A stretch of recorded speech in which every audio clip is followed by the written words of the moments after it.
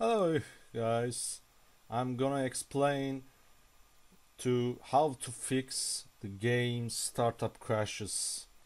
For example, when you open your GTA 4 or 5 and you can see these kind of errors like d3d9.dll file is missing so you should do simply type on Google D3 DX9 and .dll download.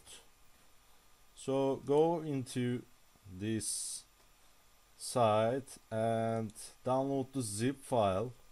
So I'm choosing the 64 bit. And download it. So open it. And then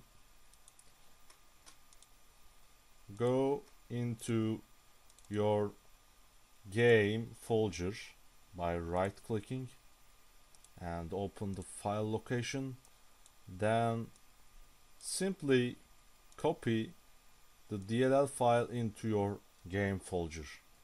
Also do this for your local disk windows like system 32 and system files.